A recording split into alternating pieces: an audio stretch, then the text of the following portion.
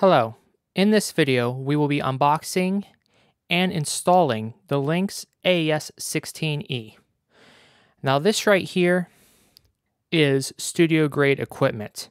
This is what you would see in a pro mastering studio.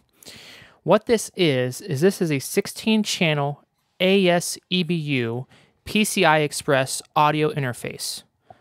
What this allows you to do is hook up high end ADCs, and DACs to your computer, or also known as your DAW, Digital Audio Workstation. You may be asking, most modern audio interfaces, DACs, ADCs, they're all able to connect via USB. Well, that may be true, but top of the line, world class ADCs and DACs, such as the Pacific Microsonics Model 2 or the Lavry Gold, are going to be AES EBU only. You're going to see AES EBU devices mainly in professional audio applications, not in the prosumer or consumer audio realm space. So, um, this basically turns my computer into a full blown studio grade audio workstation. I'll be able to connect up to 16 channels in and 16 channels out. Now that would be 16 mono channels. So if you're going to have a stereo pair, which you usually have left and right, you're going to have eight eight inputs and eight outputs effectively. So eight DACs and eight ADCs. Now that is kind of overkill for my application. I'm only going to have one DAC and one ADC, but um, I want to connect them via AES EBU. You may be wondering why you're connecting it via AES EBU. Are you using a really, really high end ADC, such as Pacific Microsonics, so you're not able to connect via USB? Well, no, both my ADC and DAC choice do have USB available, but on my specific computer, I have had some issues and flakiness with USB when it comes to audio. Um, USB on some computers depend on their chipset, um, the CPU, the USB controller. It really just depends on the computer on my old Asus laptop, I didn't really have any issues um, with DACs or ADCs. Um, but on my new workstation, I have had a couple um, issues. First off, my um, JDS Labs OL USB DAC. Um, when I first got it, I noticed it would have an occasional ticking, almost like a skipping CD, but not not really. It doesn't like the audio wouldn't like repeat itself. It would just have a little just a little tick every now and then. And um, being an audiophile, you're, you're kind of really um, noticeable to that. I did check to make sure there wasn't any um, DPCD latency issues or anything like that. Um, and I did plug it directly into the motherboard on the back. Um, usually you want to connect DACs via USB 2.0 which I did. Then I decided, oh, well, let's switch it over to USB 3.0 because that will use a different controller. It'll be using ASMedia instead of Intel. That did not fix the issue. Um, it then escalated um, to where sometimes the DAC would just completely drop off, meaning um, it would just show like it's been fully disconnected. Um, I also checked in settings to make sure that um, you know USB would never sleep because sometimes power options and stuff like that, um, your USB controller can um, power down ports per se um, for you know power options to save power and stuff when devices are idle or they're not being used for quite quite a long time. So I made sure all the power options were right. I you know I did other things such as um, make sure the CPU wouldn't downclock and you know because you know CPUs uh, on power options you can have it to where it will downclock during idle and stuff like that. Check C states. There's all types of things when it comes to audio. Um, we can go on and nitpick about different types of settings, but yes, I tried everything. And the one thing that fixed it is plugging the DAC into a USB powered hub. So it acted almost like it was a power issue. Now, the JDS Labs OL DAC is um, powered via an AC adapter, so it doesn't rely on the USB power, um, which is kind of weird, but um, I don't know. So I was able to solve the JDS Labs DAC issue uh, by plugging it directly into a USB hub that's powered. and haven't had any issues since. Now, um, with my ADC, I currently use the crappy Behringer. Um, I believe it's a UMC 202 HD, and I believe it uses a XMOS chip for USB. And with it, I haven't had any taking or random drop offs, but sometimes when I'm speaking, um, when I when I say a word, um, say I say hot dogs or whatever, it might um, cut off some of that word and just conjoin conjoin it if that makes sense. Um, to where it's not skipping or repeating or anything, it just um, captures maybe the beginning and the end of the word, if that makes sense. So it's like there's some data missing. Um, it only happens um, every now and then. It's intermittent, just like the other issue with the DAC, intermittent. Um, now, as far as USB on the workstation, everything else, webcams, keyboards, peripherals, USB flash drives, what have you, everything just works flawless. I haven't had any issues with anything. The only thing I've had issues with is audio devices, DACs, ADCs, etc. Now, I haven't tested the um, the audio input with my Logitech webcam to see if there's an issue with the audio on the webcam. I might I might test that later. But anyway, I don't know. USB can be either good or bad. Just it's a clusterfuck. USB was not designed for audio. Period. Um, now, there, of course, will be people um, that will bitch and complain and say, well, you know, if you use um, USB, you have, you know, asynchronous and you can have the um, USB controller sync up to the, the DAC's clock, and the DAC can use its own internal clock, which is better for jitter issues, etc. Yeah, that may be true, but um, with AES EBU, it's a professional interface, and um, the jitter issue pretty much is non-existent. Um, the main problem with SPDIF and AES EBU is that the, the um, device that's talking to has to sync the clock with the DAC or the ADC, if that makes sense. Um, the DAC or ADC has to follow the clock of the source, if that makes sense. And that can introduce um, jitter issues.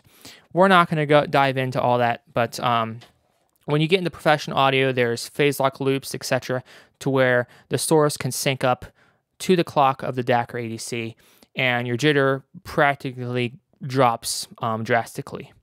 Um, on consumer devices, um, consumer audio devices that use SPDIF, um, yeah, you'll have you'll have a jitter issue compared to USB. But we're dealing with professional audio devices. Um, jitter is basically going to be a non-issue. So using an AES EBU interface, um, rather than just plugging DACs and ADCs in via USB, basically get rid of all the USB flakiness. That all that working with USB controllers and the glitchiness of USB, um, the intermittency of it, if that makes sense. Um, like some DACs I connect to the computer work fine, like my FiiO Q1. I haven't had any issues with my FiiO Q1. Have had some issues with a couple other devices. It's just it's a clusterfuck. and then those those devices such as the JDS Labs work fine on a different computer, but they don't work fine on this computer. Or this this DAC works fine on both computers. It's just, ugh. I, I'm just I'm tired of the bullshit. And plus, if I'm getting a really, really, if I upgrade down the road to a really, really high end ADC and DAC, world class grade, those aren't going to have USB available. It's just going to be AES EBU because that is mainly what they use in professional studios. So, say I do get a Pacific Microsonics Model 2, I already have an AES EBU interface in my computer to just connect it right up to the computer. so, um, but anyway, I digress. So um, I'll be upgrading my DAC and ADC later on, of course. My um, ADC will be the Lynx Hilo, and my um, DAC will be the Topping D90. And those both, you know, have AES EBU um, connect connectability. So I'll be connecting these to the AES16E here.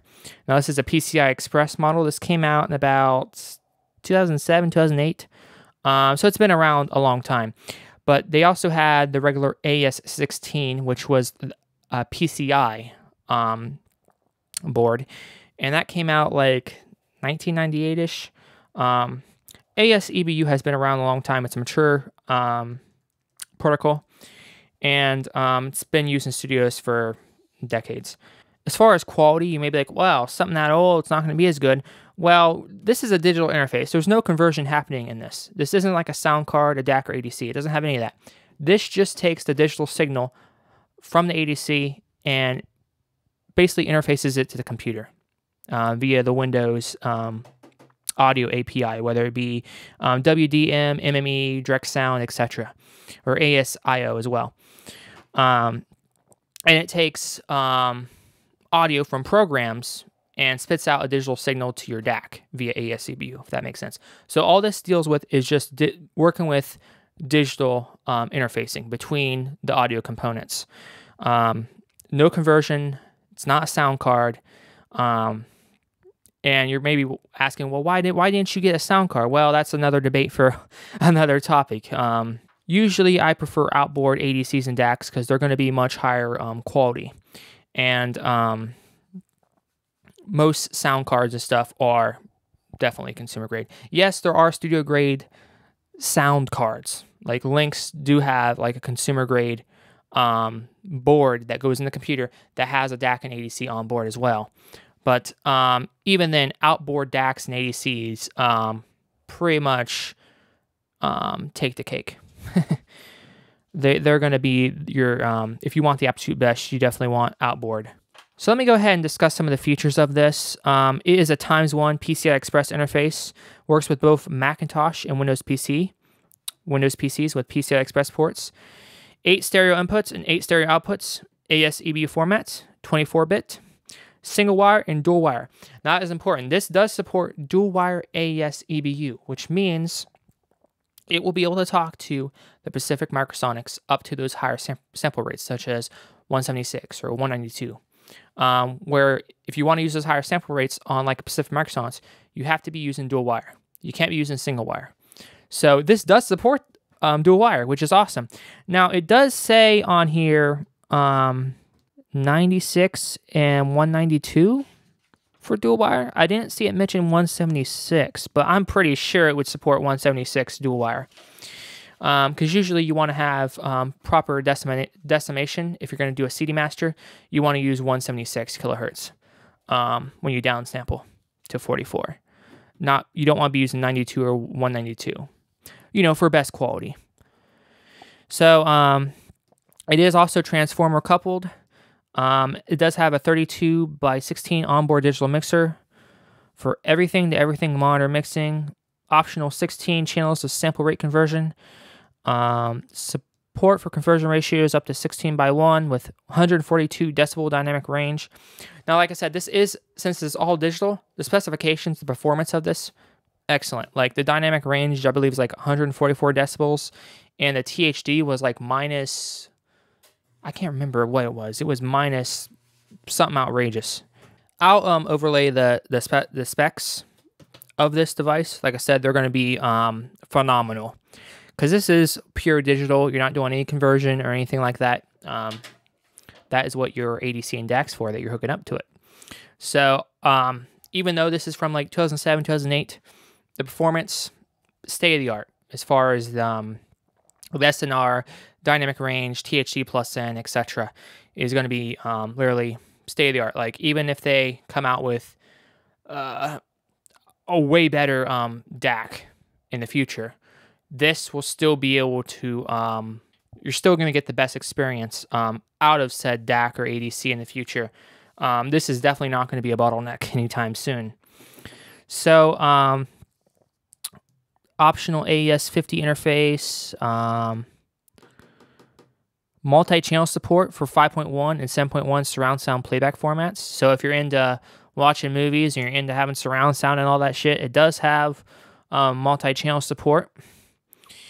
Um, this has synchro lock, um, sample rate clock generator for 3000 to 1 and jitter reduction. So that's part of that. Um, like I said, when we talk, we're, we're going into jitter and stuff, people say USB, USB, USB, because you can use the DAC or ADC clock. Yeah, yeah, yeah. Um, but on professional AES EBU, they're going to have um, such jitter reduction technologies, phase lock loops, etc. So this does have a um, jitter reduction, of course. Supports ASIO and WDM for Windows and Core Audio for Mac OS X. Easy driver installation. ideal for in studio or remote recording applications. And the price of this, this was $700. Um, not cheap. And you may be asking, $700? It's not a sound card, doesn't have a DAC, doesn't have an ADC. What the fuck? $700. Yes. When you start getting into professional studio grade equipment, I'm not talking consumer grade or prosumer. I'm talking professional audio equipment that is in professional studios by like the top label companies, etc. Prices of studio grade equipment is usually thousands and thousands of dollars. Microphones, usually a couple grand. Your ADCs, usually five grand, ten grand.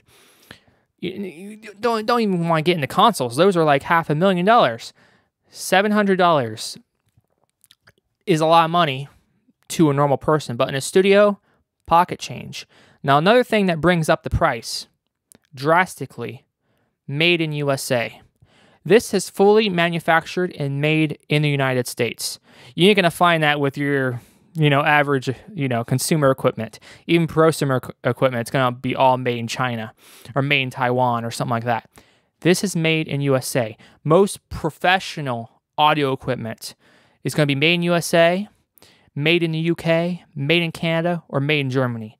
Um, the British make a lot of professional audio equipment. So does so does a lot of German companies like Neumann microphones, um, Shure, except well, Shure's a U.S. company, um, but um, a lot of companies are German, a lot of companies are British, U.S. Those are pretty much the main countries I see when it comes to really professional audio.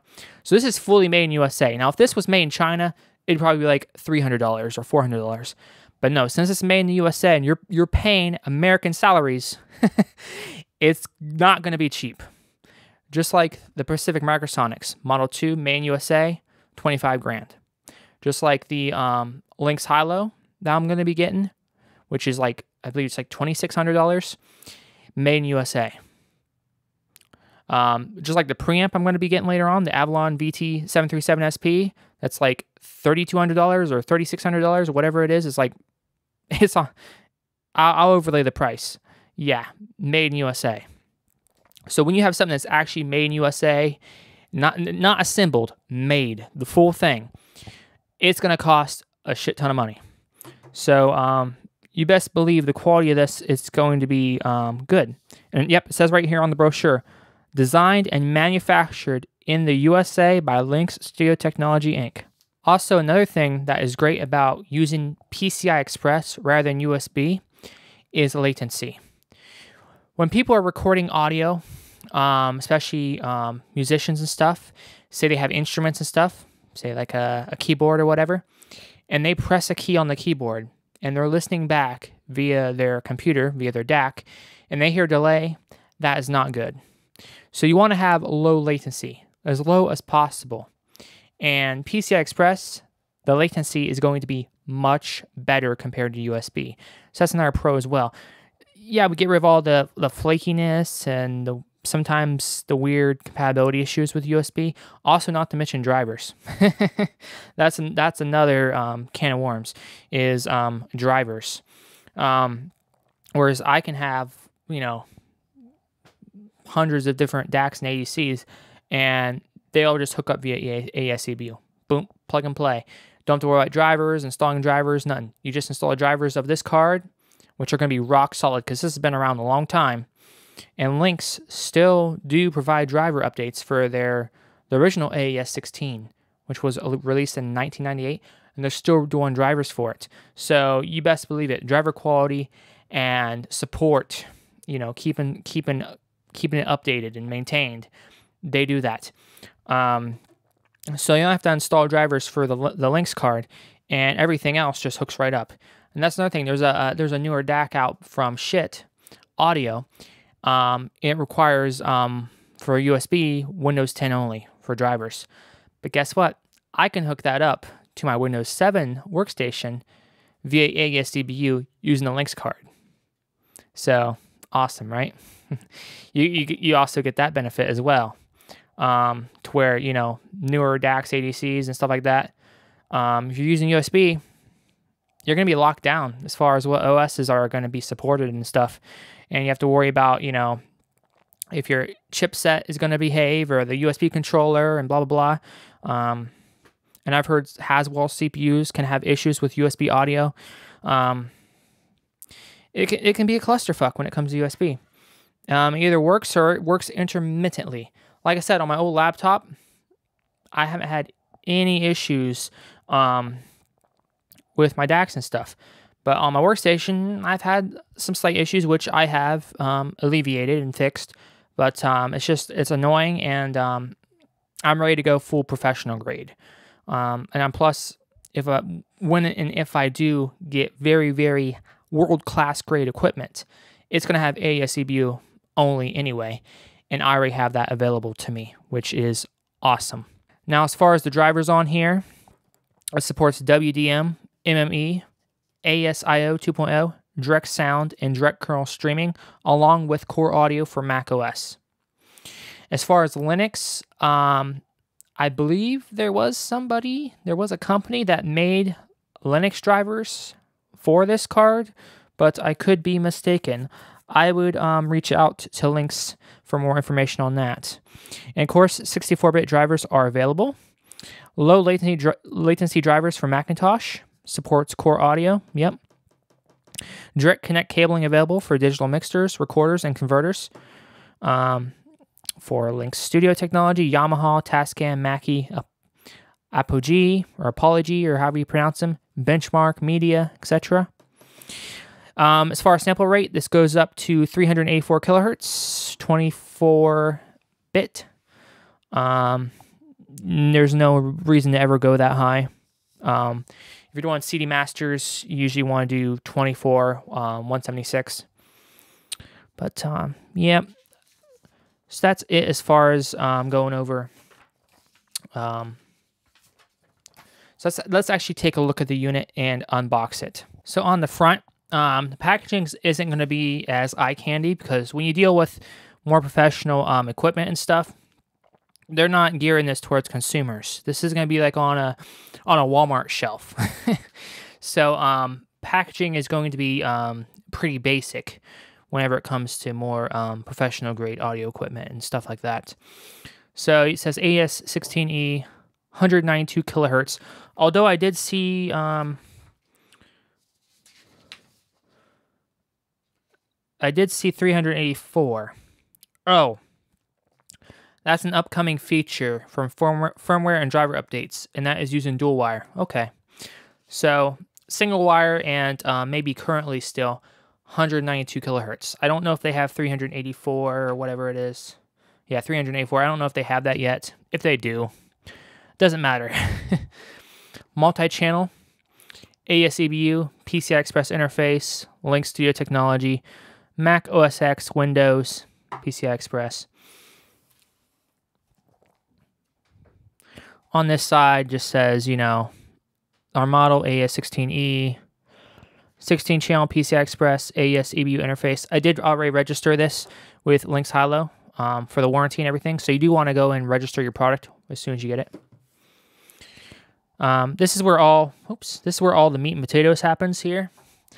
So 192 kilohertz multi-channel AES EBU PCI Express interface. Um, we have the regular base model. There is also a sample rate conversion model. We're not going to get into what that is or why or if you will need it. Um, in my application, I won't. So the AES16E family of PCIe cards provides connectivity between a variety of digital audio equipment and computer-based workstations using, using AES EBU and optionally AES50 protocols. AES16E also tightly integrates with Lynx Aurora converters, allowing remote control of all Aurora functions.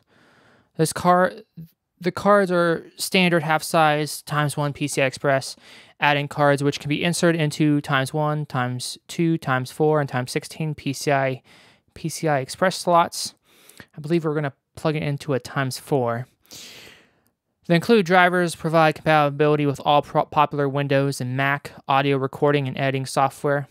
Now you may be at you may be asking, um, will this work with Google Chrome, um, Spotify, and your regular applications? Yes, it will because it has WDM drivers. So this won't be just limited to your DAW. you should be able to use this for all your programs. This should be just like almost like a sound card type of deal, but it's not a sound card. Um, so yes, it should work with everything because it has WDM drivers, and that's actually what I'm going to use it for. I'm going to use it for everything: FooBar, Google Chrome, Spotify, all my programs. Okay, and it will show up as an audio device.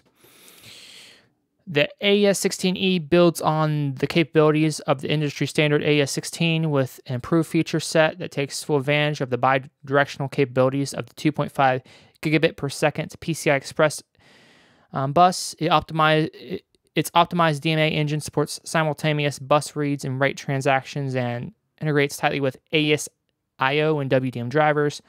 The onboard digital mixer provides more than six times the processing power of its predecessor. So it's just telling you, hey, PCI Express is a better interface, and hey, we're going to use it.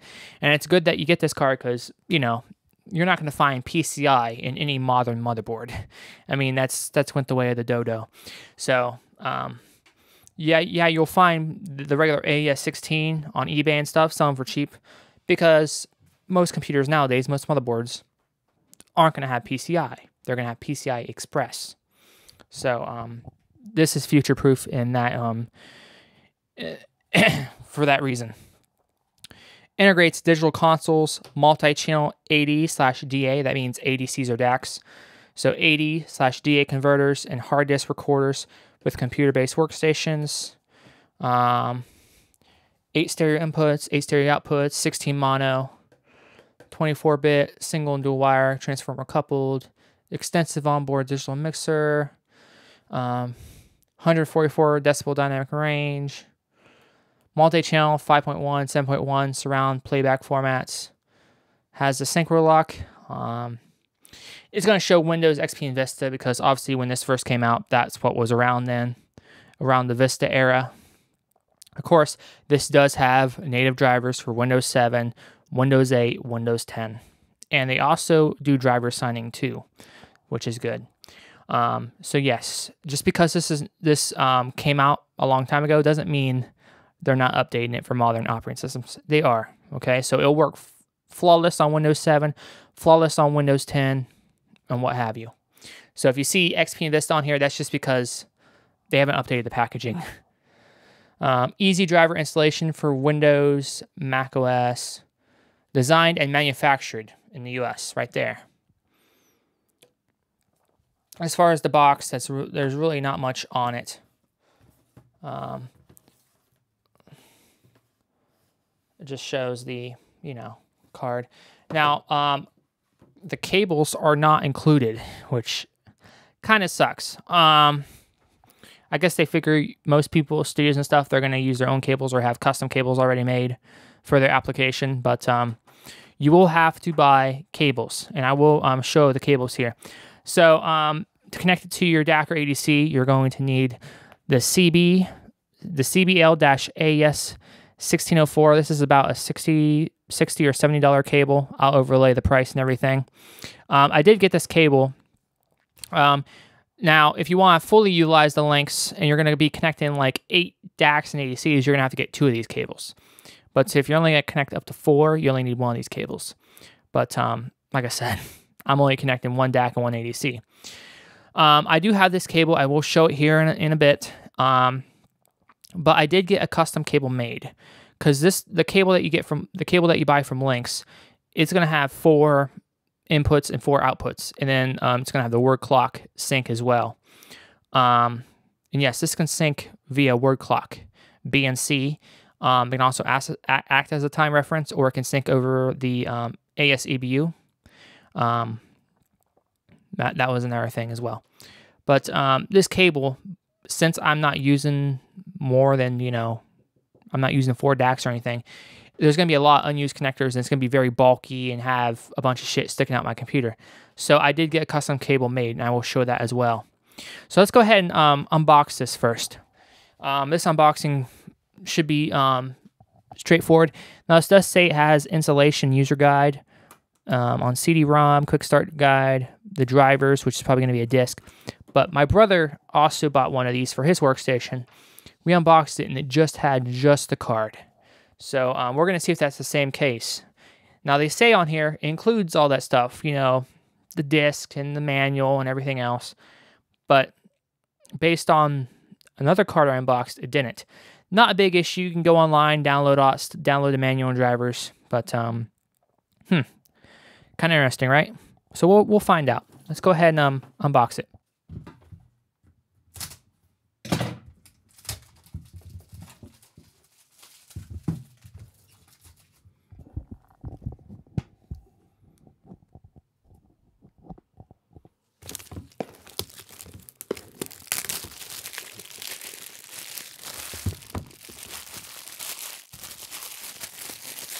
So it was um, shrink wrapped.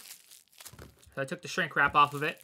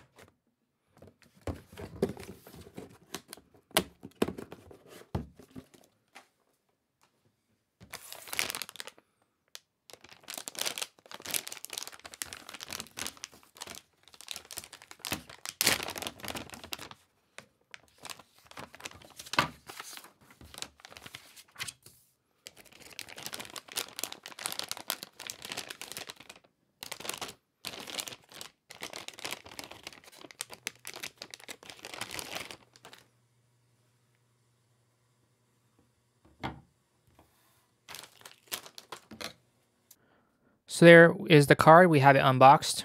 Um, as you see, they did not include a, a, CD or anything or a manual. They just included a little quick start guide that tells you, hey, do you have the cables that you need? Because we don't include them.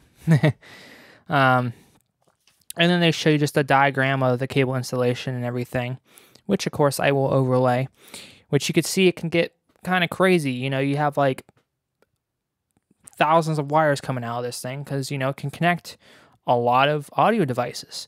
But um, in my application, I will not need all those cables, so I did have a custom cable made.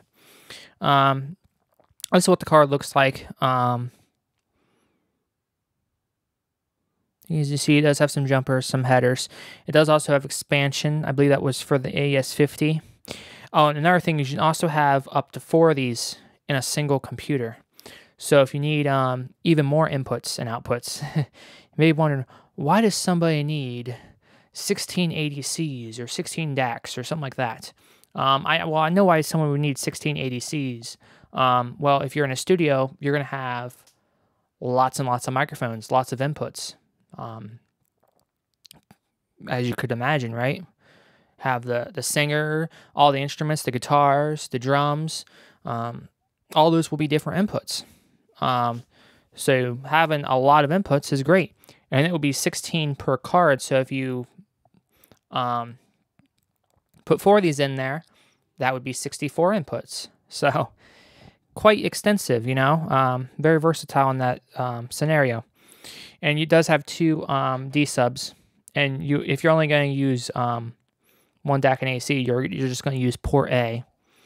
Um, but um, that's what the car looks like. Um, it does look really, really nice. I don't know how well it shows up on camera, but it's a, really nice, um, really nice green.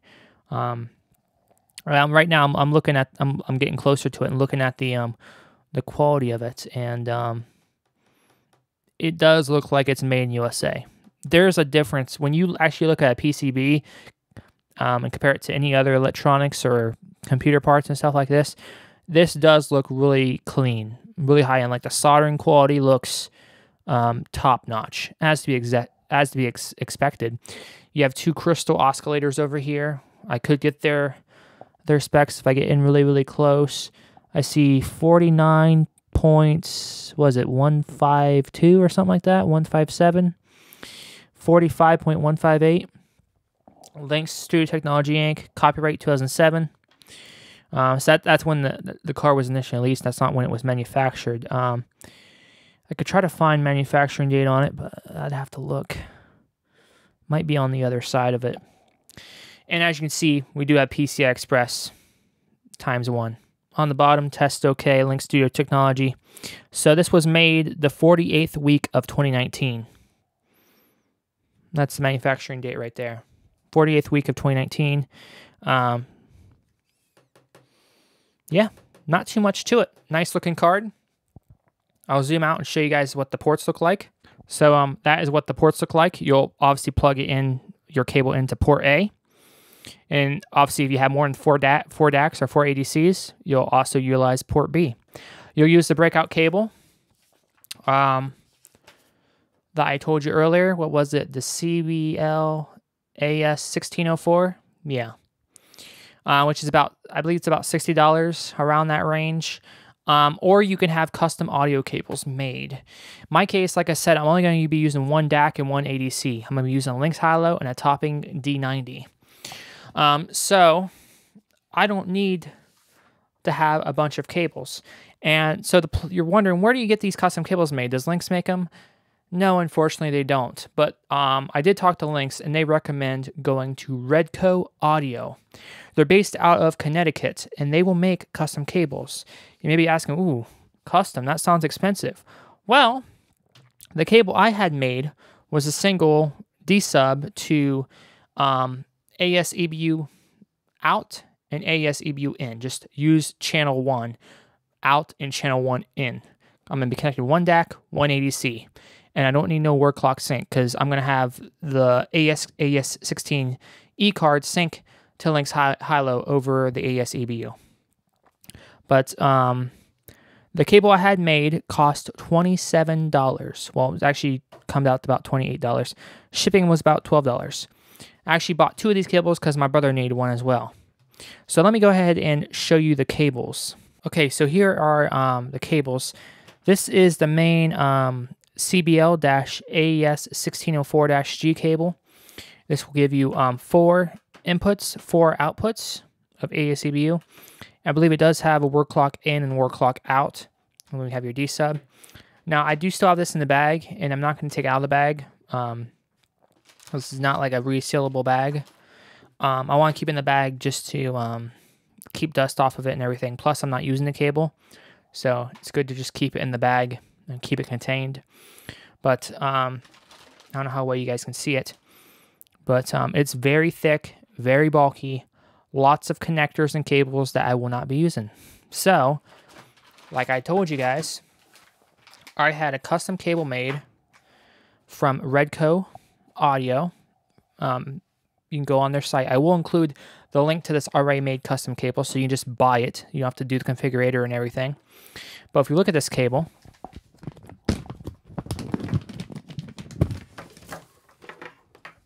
we take a look, we have our, our D sub. And it's a nice metal, you know, solid connector. And then we have our AES EBU in and out. And they are labeled so in, that's that will connect your um, to your ADC, which will be the Lynx Hilo. And then you have your out that will connect to your um, DAC, which in my case will be the topping D90. So as you can see, a much smaller cable, much less bulkier, only has what I need. Awesome. And it was only like what what I say, twenty eight dollars or something like that. Um, um, there is a con though since it's a custom cable, and especially with COVID and everything that's going on, this cable took like four weeks to arrive. Um, so they are having some delays and stuff. Um, well, they already have a delay because it's a custom cable. It usually takes like two weeks or three weeks to make it. But um, with COVID and everything, it, it got delayed for about four weeks. Um, I did reach out and um, he seemed to like expedite, expedite the shipping or whatever because literally as soon as I emailed him, he's like, "Oh, I'm gonna have this out ASAP," and it was literally like here, like almost like the next day or the day after. So, um, and the support at Redco, um, every time I emailed him, he would reply like within 30 minutes every time. So I'm um, very good. The only con was there was a delay, but I'm gonna get I'm gonna give him a break because um, yeah, with COVID and everything going on, I, custom cable, I can understand. Four weeks is still pretty long. I mean, dealing with professional professionals. Obviously, this is a home environment, so we don't have those stringent um, requirements or anything. So I'm being a little bit more lax. But if you have like a professional studio or something trying to buy cables from you, they're not going to wait around. They want their stuff ASAP. So, um, but this is for a home environment, you know, hi-fi listening experience or whatever you want to call it. Um, so, um, we don't have the same requirements, but I'm still pretty strict when it comes to stuff like that, just because, you know, who wants to wait around a month or two, you know, you want your shit. You, you pay for it, you want it, you know? But um, anyway, the quality looks pretty good. Um, only thing I don't really like, and it's this is the same issue with the Lynx cable as well, is yeah, they give you a nice solid cable, but when they get to the actual um, XLR connectors, the cable is very very thin right there. See what I mean? And these these these these connectors are very heavy, so I feel like this could these could wear wear out over time. Um, it shouldn't matter if once you have your computer set up, it's not like these cables are gonna be moving around a lot. It's gonna be pretty much stationary. But um, it's the same issue with the Lynx cable. Like on theirs, you have the thick wire, but right when you get to the goes to the XLR connector, it's it's like very thin. Yeah, I feel like I feel like this can be a, a point of failure. Um, down the road. Um, so not too keen on that part. The connectors are high quality Neutrik connectors, of course, which is great. But um, I believe I don't know what I don't know what cable they they oh yeah they're using Mogami cable right here. Uh, you probably can't see on camera. It says Mogami part number 3160, 110 ohm digital audio multi cable. So using high quality cable, but right when it gets to the connectors, see what I mean? It gets kind of thin, which I can feel could be fragile. Maybe it'll wear out over time, especially because these connectors are heavy. That's what I'm saying. Um, I don't know. Maybe it's a moot point. But um, anyway, we're going to go ahead and install this card into the computer and then we're going to install the driver. Fortunately, I can't continue too much further on on this video um, because I do not have the DAC or ADC yet. So it will just be installation of the card and installation of the driver. And I'll show you how it shows up in the um, sounds and devices. Okay, so we are going to install the Lynx AES16E card into my workstation. We got my workstation already down here. Uh, it's been a bit hectic day. Got so much going on. Yanking this workstation out is a very timely process because there's so many things connected everywhere and I need to get everything labeled and Oh, there's probably about 50,000 wires coming out of the back of this thing. Doing 10 gig fiber, doing all kinds of shit. So anyway, got the Lynx AES16E card here. I'm going to go ahead and pop out of the box. And we're going to go ahead and install it in our times 8 slot all the way on the bottom.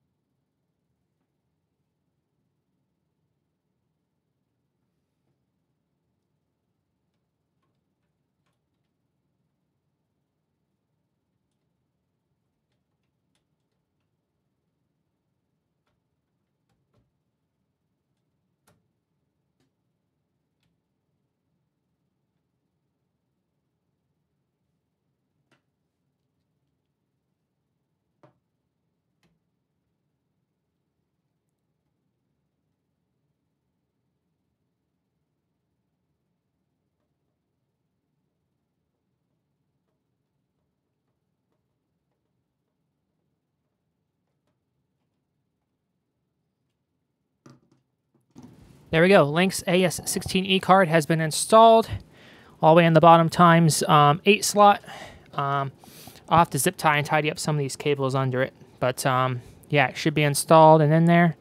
And then um, should be good to go. And on the back, we have our two um, AES EBU ports, and everything is looking pretty splendid. So um, I'll show you guys the back here. So as you can see on the back, we have our Lynx AES16E card installed into the computer. We got port A and port B. Look at that. Ain't she a beauty? But look at all that I/O. I know this is this is a beast. You got the 10 gig fiber card. You got all these USB ports. I think we got 14 USB ports in this thing. Got our graphics card, display port. I mean, you got got a lot going on here. Dual um, Ethernet, which I don't really use, but there's a lot going on here. But um, we'll go ahead and um, continue with um, driver install. Okay, so we have the Lynx card now installed. So what we're going to do now is we're going to install the um, the driver onto the computer. So if we look in um, Device Manager, you can see right here, multimedia audio controller device, PCI slot 4, no driver. This is the hardware ID for it. So let's go ahead and install the driver. I already downloaded the latest driver over from um, lynxstudio.com, so it's on my FreeNAS. So we'll go and go ahead and do that. AS16E, yes. So right here, driver v2 step 24C. Hit run, accept, install.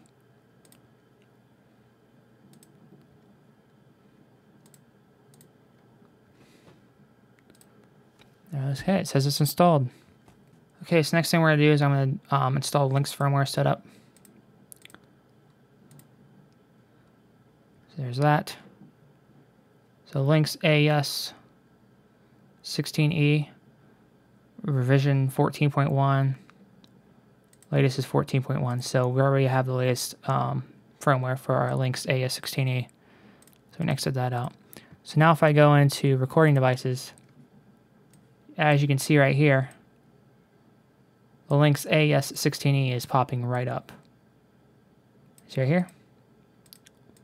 Popping up. So the question is, does it work? and if I go into Device Manager,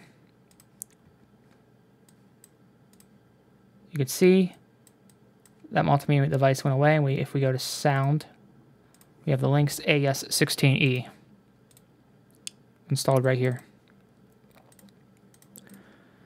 Okay, so I'm going to go ahead and um, fire up FooBar. I have FooBar open on my other screen. I'm just going to um, drag it over here. We're going to go into configure, output, and I'm going to select the AES um, 16E. It's showing play 0708. This is confusing. Oh, the Lynx mixer is already installed. Let me pop that up. Oh, okay. Digital in 44.1. So it's seeing the clock from the Hilo. So I bet if I change that on the Hilo, it will change on here. And as you can see right here, it did change 176.4.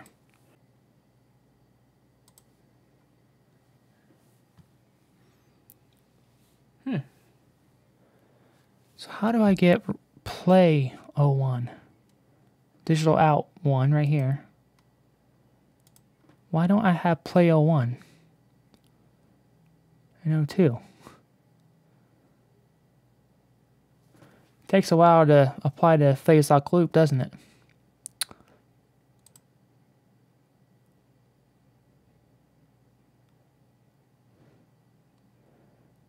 Huh. I noticed on my um on my topping D90 it now shows 176.4 kilohertz, so they are in sync with each other and working problem is, is I don't have play 01 and 02 as a device. I have only play 03 and 04.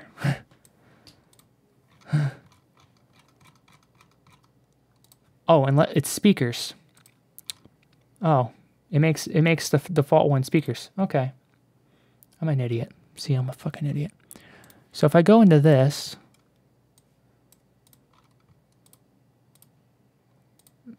can I change it to 24 176? I can't. So I can only go up to 24 44.1 if I want to use that. So I'm going to change the the Hilo to back to 44.1 and I'm going to have it on 24 bit if I can.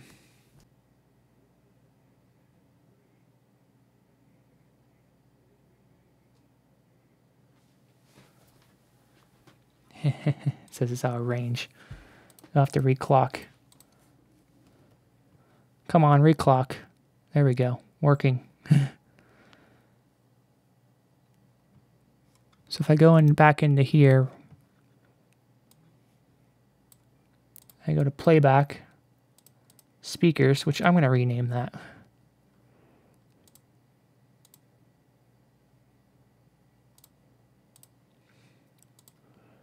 I'm going to use 24.44.1. This looks good to me. Um,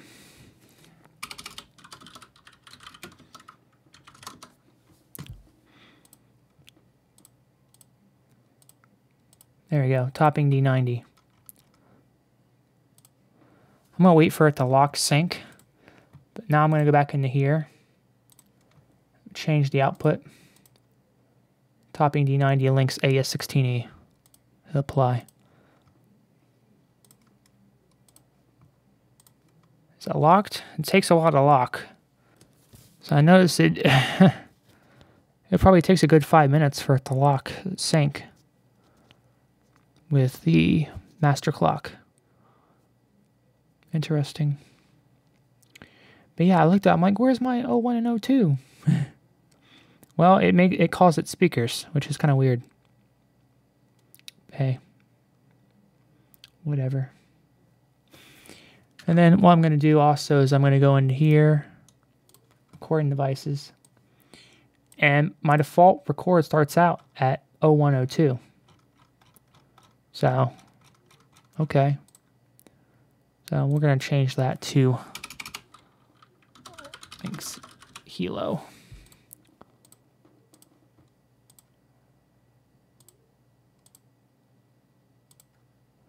Two channel 24 bit 44.1, yes. There we go. Still working the lock sync, so it takes a while to lock sync. Kind of weird, huh? Yeah, I'm gonna go ahead and kick the stereo, my stereo on, and we're gonna see if it'll play audio. Okay, so it says locked, which is good. So I'm going to do before I just blast this out, I'm going to go to the volume mixer, mute it, play something. Okay, it didn't listen to me. Oh, because I muted this. Okay, it works. I'm going to turn that down.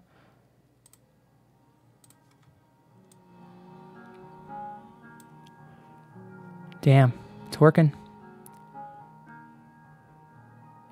I can't play this for too long. You guys probably can barely hear it because, you know, my microphone.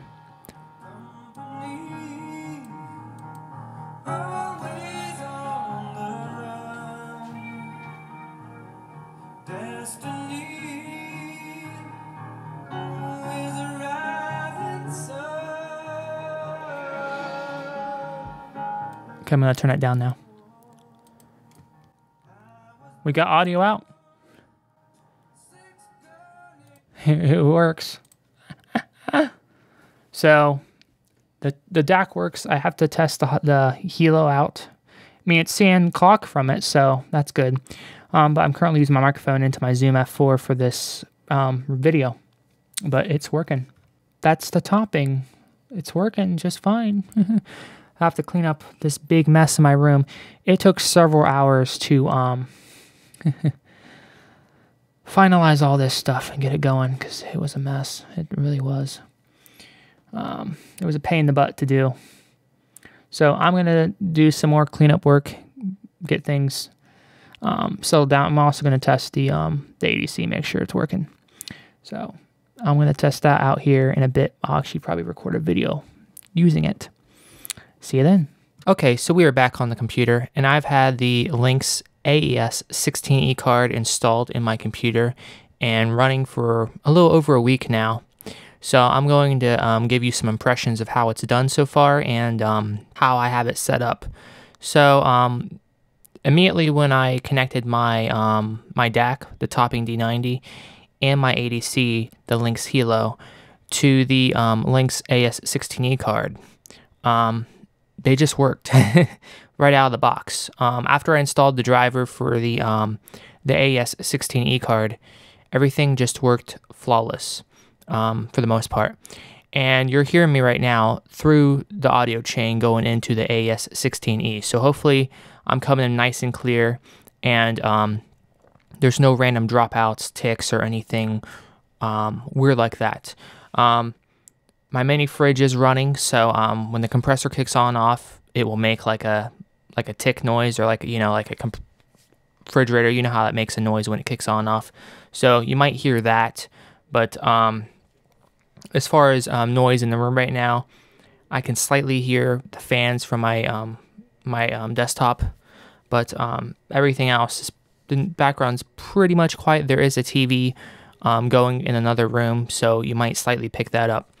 But um, I am going through the audio chain here through the Lynx AES16E card. And if you can look right here, you can see the volume mixer. Um, it says Lynx AES16E. So um, a couple things to note. Um, the Lynx AES16E card, it is a 16 um, channel um, card. And if you're not using all those channels, like in my case, like I said, I'm using one DAC, one ADC, I recommend you put it in two channel mode.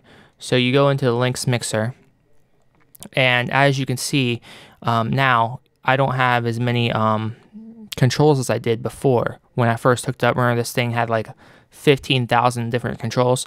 That's because I put it in two channel mode. Doing this will allow it to um, use less system resources. Because um, when you're when you have when you have all those other channels enabled and you're not really using them, um, that can affect CPU performance a little bit. It's can add some overhead.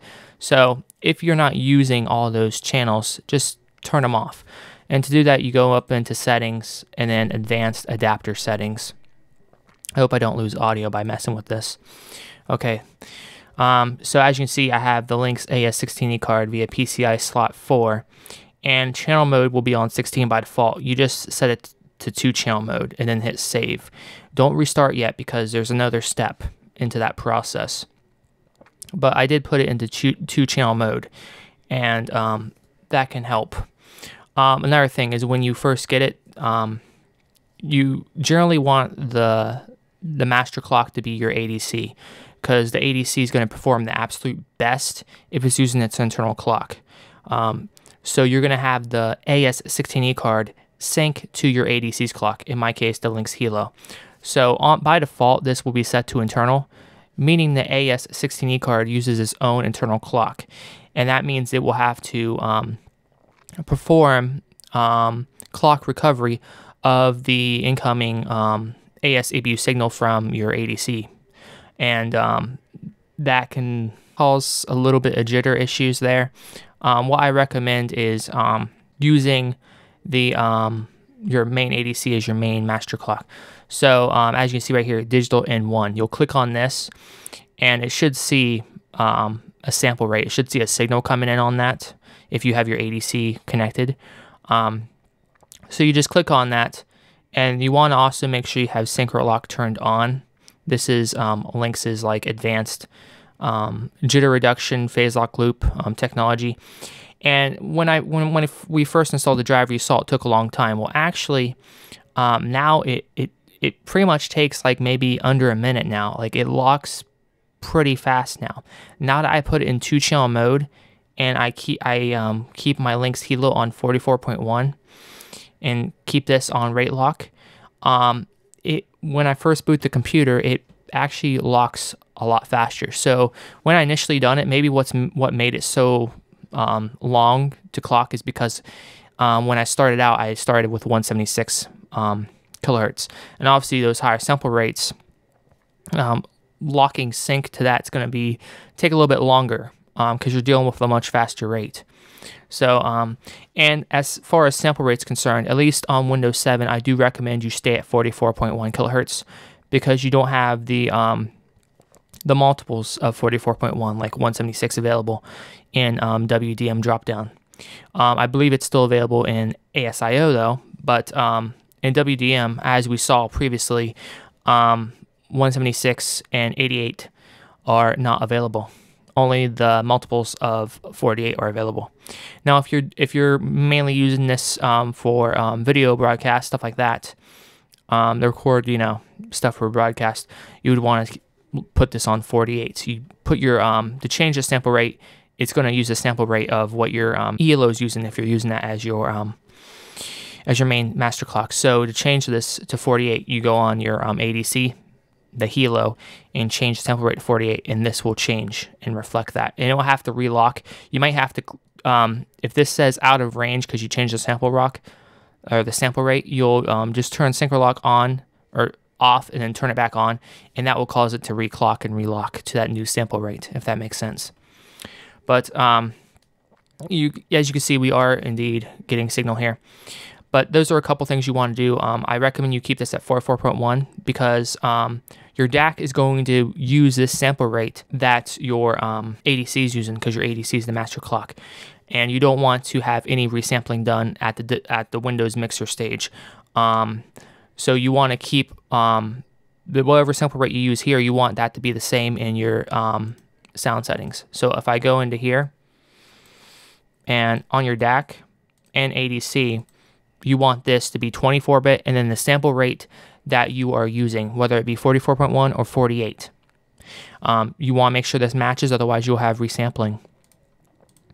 So if I show you, two channel 24 bit 44.1, that's what you want to, um, you want to definitely keep that. Um, and as you can see here as well, all those um, playback and record devices went away because I changed another setting um, number of WDM devices. By default, this will um, be eight WDM devices, which means you'll have eight different um, devices in here, which you guys saw earlier in the video, right? When we first installed the AES16E card, the drivers for it. Um, if you're not using more than one DAC or ADC, you want to change number of um, WDM devices to um, one. So that is what I did. And the reason why it was eight is because you have two channels per WDM devices, you know, a left and right channel that you can map. So, you know, eight times two is 16, right? But um, I did also change that. And to change that, you go to advanced and then it's driver options. And whenever I click on this, it will cause the audio to like glitch up a second because it's like pulling some settings for WDM. So I'm not going to click on it for right now because um, it will mess up the audio for this recording, most likely cause some glitchiness there. But that is another thing you want to do is you want to go into here and change number of WDM devices to one as well, if you're using a similar configuration as to mine. Now another thing is um, when you come in the Lynx Mixer and you set what you got to set, you know, um, set your preferred clock source to digital N1, your ADC, um, turn on SynchroLock and wait until it locks before you do any critical recording or listening or anything like that. Um, like I said, um, now it takes probably like a minute, maybe under a minute to lock, um, especially in the two channel mode. Usually, after you boot your computer and you open everything up, by the time you do that, you'll have lock. So you just go in the Lynx, you just open up Lynx Mixer and you can check.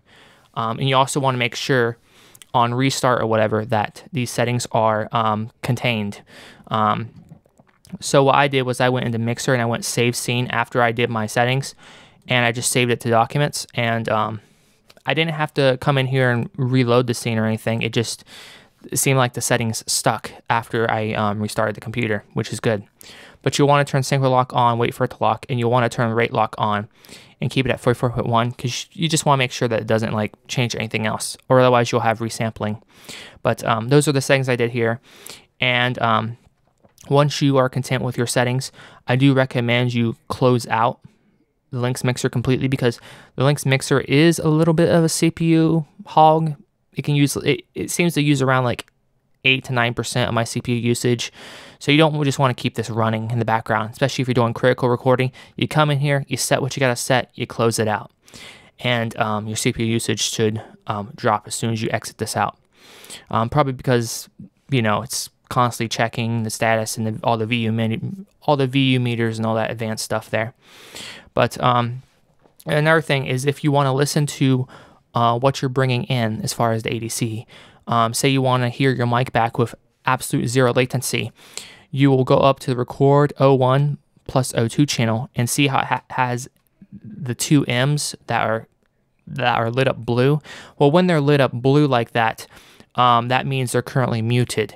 Muted as in you listening back to the device. It doesn't mean muted as in um, the application or the person can't hear you because obviously you're hearing me right now, even though this is muted, right?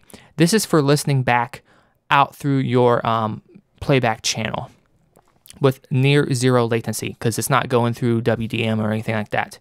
So uh, this has the same effect as going into going into the Lynx Hilo here and going to listen back to this device, except without the latency. Because if I if I did it here, there would be a there would be some latency there. Um, there would be a little bit of delay. Um, if I unmute here, it will be dead on. And when I did that, you probably heard the echo from the stereo, right? From the power amplifier behind me. Um, usually when you unmute, you want to have headphones on, you know, um, but that will allow you to listen with pretty much dead on zero latency. Um, so if you want to be able to listen to the mic you're bringing in, or maybe you have like a cassette deck hooked up in your archiving, but you want to be able to listen to it, make sure it's coming in okay. You can put some headphones on, or in the case of cassette deck, you, you can just use the stereo because you're not going to have that um, that feedback issue. But um, this is that that that is a way to allow you to listen back with pretty much zero latency. You also have um, some volume controls, but I recommend for optimal performance, you leave this stuff as is, 0.0. Don't mess with it. If you have to adjust any um, volume or volume or anything, I recommend you do it through your ADC. Um, make sure you have the right trim levels, etc., set there. But um, for absolute best performance, leave this as is. Don't mess with it. Um, if you have something coming in from your ADC, say you have one mic um, preamp setup and you're just coming in through the left channel, um, you can center it here to where it will go out both the left and right channel. However, I recommend you do it through the ADC if the ADC offers that. Such as in the Lynx Hilo, it allows you to center um, the left channel or even the right channel, depends how you have it set up. It allows you to center it to come out of both the left and right channel. So that's why you see, that's why you, even though I have one mic preamps hooked into my Lynx Hilo, you see I'm coming out both the left and the right channel. That's because I have the, the Lynx Hilo mixing that to both. So I'm not doing it through the Lynx Mixer software, I'm doing it through the ADC. And that's actually how I recommend you do that if your ADC offers that. Otherwise, if it doesn't, you can come in the Lynx Mixer and you can center that within here, if that makes sense. So if you was only coming in through the left channel, you have this knob up here which you can center and it will if you hover over it um, as you're turning it it will give you like a um, percentage or whatever. And obviously you'd want that to say 0, 0, 0.0 which means dead center. But um, anyway that is what the Lynx mixer looks like. Um, another thing is um, I've tried to mess around with ASIO and FooBar and I wasn't able to get it to work. Um, there was basically no audio output, even though um, it was acting like it was spitting out audio. FooBar was. It wasn't spitting out audio. Um, ASIO, you only really need to use that if you're really concerned about um, latency. So if you're using this in like a music production, um, like, you know, if you're using it for music production or whatever, you have instruments coming in, you need to hear them back with absolute zero latency, stuff like that, you'd want to use ASIO. Um, people will argue, oh, ASIO is higher quality.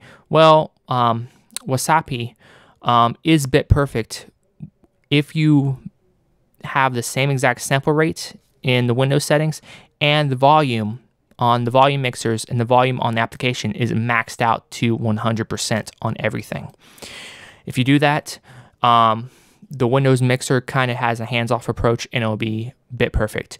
You can also do um, Wasapi exclusive mode, which will ensure it will be bit perfect. So you don't have to use ASIO unless you need that absolute low latency. Uh, for playing back uh, music through FooBar, or even just talking through the microphone through like Skype or something like that, or even recording a video, you don't need ASIO. The latency is not going to be an issue. Um, so actually, I don't really use ASIO. Um, I tried to spit out via ASIO, and it picked up the Lynx um, AES16E card just fine, and you had the Lynx um, ASIO control panel, um, but I had issues. So one thing I do recommend is you change the ASIO buffer to 512. Even though it's not using, I'm not using ASIO. If you keep this at 32, it it can use a little bit more CPU resources in the background.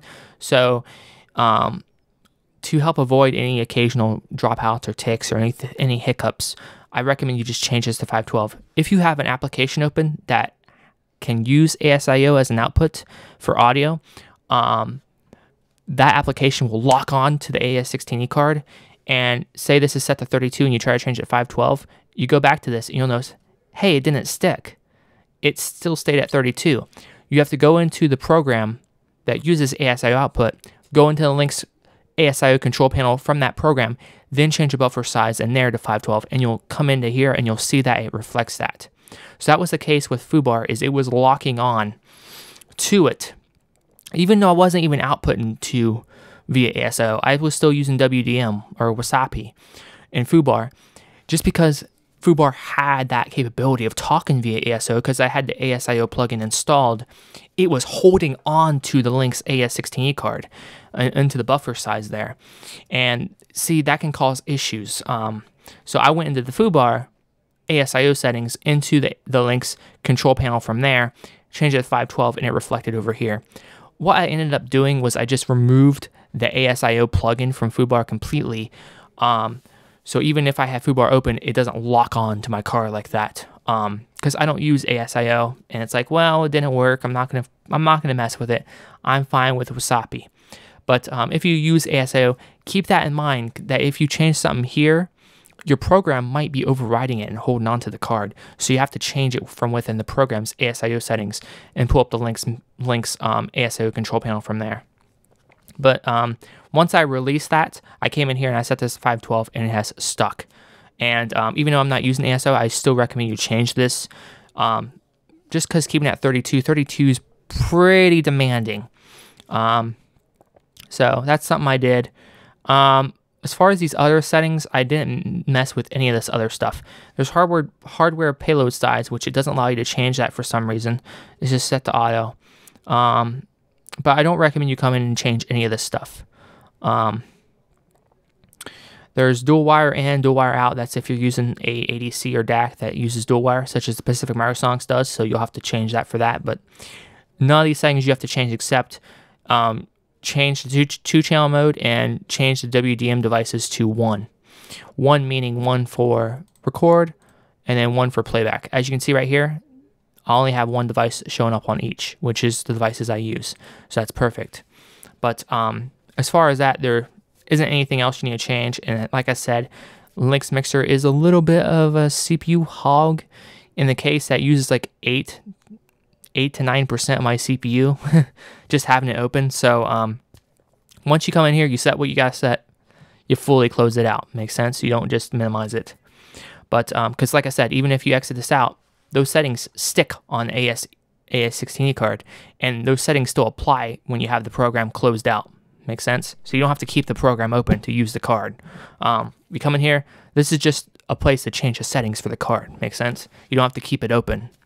Um, change the settings you need and then hit exit. Makes sense? And the stuff will stick in the background. But um, something I haven't been able to figure out is they say you're supposed to be able to see the bit depth. Um, but I don't see the bit depth anywhere. Even if I hover over these inputs and outputs, I don't see the bit depth. I can right click. There's nothing on right click. So that's something, Lynx, if you are watching, how do you know what bit depth the DAC or ADC is using.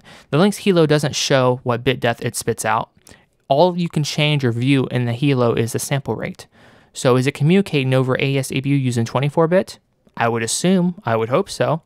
What about the DAC? My DAC only shows sample rate as well. um, it shows sample rate and it shows PCM. Um, because if it was spitting DSD, it'd show DSD. But um, it doesn't show bit depth on my DAC either. So how do I know what the Lynx AES16E card is communicating to my DAC over? Is it 24-bit? I would hope so. Um, it doesn't show you anywhere in here. I've looked all over. I, maybe I'm blind. I didn't see it anywhere in the settings. It does not show what bit depth is being used. Um, I would assume 24-bit. I would hope so. Um, most, if not all DACs and ADCs will support that. But maybe if you have an older legacy, legacy product, you, kind of want to know, like you not presenting that information is kind of um, troublesome. So um, I will be like reaching out to them about that. Like, hey, we need to see this information. We need to know this. But I'm going to exit this out. Um, but um, as far as the AES16 card, like I said, you plug it in. Um, I use um, Mogami AES EBU cables, um, and then I use the Redco um, breakout cable, which you've seen earlier in the video. That allows me to um, just have one AES EBU out and one AES EBU in, and get rid of all that bulkiness and unnecessary connectors. I have enough wires behind my workstation as is. But as you see, the devices pop up. You can come in here, you can rename them like I did, change the icon. As far as levels, keep it all at 100. Disable all enhancements. Advanced, 24-bit 44.1. This has to match the sample rate that you're using um, on your equipment to um, prevent any prevent um, Windows from um, resampling, of course. I turn these on, and that's all you guys see. And as you can see right here, you, you can see the Lynx Hilo connected via the Lynx AES16E card, and it just it moves around. Another thing I recommend is um, your onboard audio controller. Most likely it's Realtek. Go into the BIOS and completely turn off the HD audio controller. Turn completely turn off Realtek. Uninstall drivers. Do that. You don't want you don't want that popping up at all. Another thing is um, the NVIDIA drivers for um, HDMI and DisplayPort um, can cause some issues, I've heard. So um, uninstall the NVIDIA HD audio driver. I did that, but it popped back up for some reason. Probably because when I installed the driver, I had that enabled as an option. So it just, boom, um, puts itself back on there, which is kind of weird. But um, you'll see like all your monitors and stuff popping up in playback. And what I did was I just right clicked them all and um, disabled them. I recommend you do that. Um, just um, disable all your um, anything to do with your monitors and NVIDIA and stuff like that. Just keep um, your equipment here enabled. I could also disable it for my Logitech webcam, but I leave that as just a backup. And plus, I don't know if it'll bugger up my webcam if I disable this. But um, disabling the audio for the monitors um, has no effect on them. I still see my images just fine. so I, I, do recommend you do that. Another thing is if you have multiple network controllers, go into Device Manager and disable any network controllers you're not using. So I'm using the 10 gig fiber card from Mellanox because, um, you know, this is a workstation. I'm overkill. I'm I'm not your average consumer. I'm, a, I'm like in a very niche market, right? So I also have two onboard Ethernet ports, you know, two onboard Intel NICs, and I don't use those because I use I'm using a 10 gig fiber card. So I went in the device manager and disabled those because um, networking drivers can cause issues with audio, and those are just things you need to mess with. Performance and power options, you want to set that to maximum performance, and you want to make sure your CPU is not um, downclocking because sometimes that causes causes issues with audio. But as far as that, um, yeah, this is the Lynx AES16E card um, hooked up. It just works. And people are like, oh, is it only going to work in my in a DAW? No, it can work. It works with everything. It has WDM drivers, direct sound, ASIO, um, kernel streaming, core audio if you're on Mac. Um, it has the full package. It'll work with everything. It will work with Spotify, FooBar, Google Chrome. It works with everything. Okay, See, see this over here? This is the, the volume mixer um, as part of um, Windows. It interfaces with that just fine. Another thing I forgot to show you guys is, of course, when I installed the driver, you want to make sure you you set your um, your device as default. Otherwise, some programs such as Google Chrome, you're like, why am, why am I not getting audio? Probably because there's another device in here that's set as default, and um, it's spitting out via that. Instead of your um, Lynx AES16E card. So just make sure you come in here and set this as default, which I have done. But um, yeah, that's what I recommend um, doing. I also recommend you muting system sounds. I just do this right from within the volume mixer, but another thing is in sounds in here, do no sounds, but I still also recommend muting over here as well. Communications, I recommend setting this to do nothing because sometimes if you're on a call or something, it'll lower your volume. And you're like, why did my volume get lower? I, rep- I recommend setting it to that for optimal performance. But um, yeah, as far as recording, you guys are obviously hearing me right now. I'm going through the Lynx AES16E card. I'm using the Lynx Hilo. Um, and if I open up Audacity, I can demonstrate right here. Um, use, uh, when you're using Audacity, I, I recommend you use um, Windows Wasapi for best best um, performance and for true 24-bit recording. As you see right here, the Lynx Hilo pops right up. Okay, and you may see, well, oh, your DAC also pops up. Yes, because this is Wasapi loopback recording. Um, but we have the Lynx Hilo interfacing via the Lynx AES16E card right there. Put you want to set this to two, two channel stereo, and then your playback device when you're listening back the Topping D90 over the Lynx AES16 card. And you can click right here to start monitoring, and you can obviously see um, I'm getting signal. It just works. Works with everything. Um, so you don't have to worry about that. It's not just a limited to uh, DAW only type of deal. No, it'll work with everything. So if I hit record, you can obviously see my signals are coming in. They're looking pretty healthy, right? Um, and I, I go play back. You can obviously see my signals are coming in. They're looking pretty healthy, right? Uh, I had the volume down for Audacity quite a bit here, but um, you you probably heard that. Let me replay that. Board, you can also see my signals are coming in. They're looking pretty healthy, right? See, it just works. Um, close out that. And another thing, after restart or reboot, um, your um, your stuff sticks as far as the name that you, you name everything like Topping D90. The um, the volumes for all my programs they stay. So somebody said, oh, whenever you reboot, um, the um, the Lynx AES16 card um, puts everything back to 100%, and um, that's not the case. It does stick after reboot. Maybe they were talking about the Lynx mixer, um, but as far as actual just Windows volume mixer and as far as WDM devices, the names of WDM devices, the settings of WDM devices, that stuff sticks after reboot. You don't have to worry about wiping it out when you reboot everything just works. It just works. I mean, I can't really say much more than that. And as far as playing music back, um, I can't do too much pl- playing music back because I don't want to um, get a copyright strike. But I will demonstrate that the stuff just works. Okay. And obviously, if you're you're doing critical listening, you want best performance. You want to make sure the volume is at 100%. I turn this down because it's going out through a power amplifier and everything. And if I have 100%, it's really fucking loud, and I have other people in the house and stuff, and don't want, you know, it gets annoying. So I have to keep the volume down low, you know, during most of the time. But um, yeah, I'll demonstrate some of that. Okay, so we're on the second screen here, and I have Google Chrome open. Um, and I'm going to show you guys that I do indeed get audio out. So here's just a video from Audioholics. And I'm going to go ahead and you see right here, you got the volume mixer. I turn the volume up. All right, my friends, we are back. It is late night. So you see audio that is coming out via the Topping D90 over the Lynx AES16E um, card. Just works. Okay, so you don't have to worry about there. There's no delays.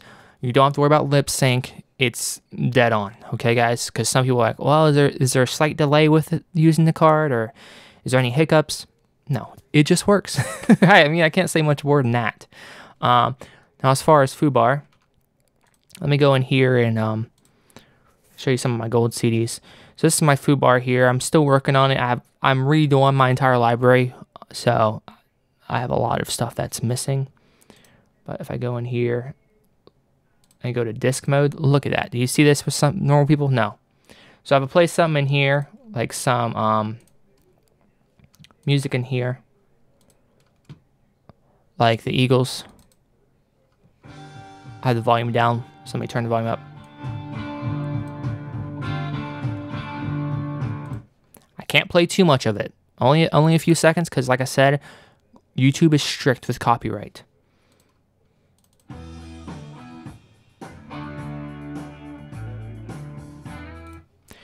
So I'm not sure how like I said, I don't have the volume up so loud and like I said I'm using the, I'm using the handheld condenser mic, so it's going to attenuate some of that. So let me move my chair over. Maybe you guys can hear a little bit better. You might have to have headphones on because, like I said, my mic has a good job of attenuating most of the back the back um, background. Um,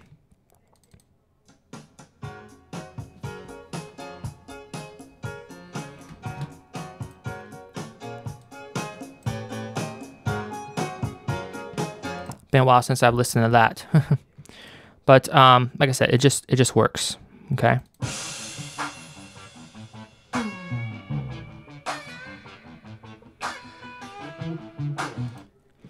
You don't have to worry about the Lynx AES16 card. Um, it just works. Um, so there's that. And how I, I, like I said, I'm not using ASIO. I tried it, but didn't have too much luck with it. Maybe if I worked with, mess with it a little bit more, it would have done its job. But meh. Um, to get ASIO up via FooBar 2000, you have to have the ASIO um, plugin installed or the component. But as you see right here, the drop down, boom, it just pops up. It just it just pops up, like I said, because the WDM drivers. But yeah, it just um, that's just a quick look at the um, Lynx AES16 card. Um, incoming audio works, outgoing audio works. It just works what more can you say than that, right? Um, so yeah, I don't think I have much more to um, tell you guys about the card. Um, as far as reliability and how it's been, I've had it for a little bit over uh, a week now, and um, yeah, I haven't had too many issues at all. Um, as far as ticking dropouts, I haven't experienced any of that. I did have one ticker pop but that was when I was uh, multiplexing a 10 gig video file. So I think at the time I was taxing the CPU, and maybe I call I caused a little bit of a DPC spike there, and that's what caused that. Um, I'm gonna have to play around for a little bit more, but um, that's the only issue I've had was I've had one tick or pop um, when I was doing something very intensive on the computer. And I think it was taxing the CPU. I'm to be multiplexing our video here soon, so I'm to check the CPU usage when I'm doing that and see if it was just you know CPU usage. Obviously, if you're if you are doing something very intensive on your computer, you're like slamming the CPU 100%. Um, yeah, you you're more prone to having a DPC um, issue there, latency issue, but that will go away as soon as you stop doing whatever is maxing your computer out, right? But I was doing video rendering um, and didn't have any issues while I was rendering a video. Um, so like I said, it's been pretty smooth. Um, when you play something, there's no like delays or kick-ons or anything like relays clicking. No, just boom. As soon as you play something, it just comes out. Um, so it just works. And the topping D90 um, is working flawless with it. Um, it's using the AK4118 um, SPDIF, re- SPDIF receiver, and it just works. So um, yeah, I have, I have nothing more more to really say on this uh, that's going to wrap it up. If you guys have any questions about the card or the Lynx Hilo or um, the Topping D90 or how this stuff connects, let me know. Um, but um, that is all for now, guys, and um, thanks for watching.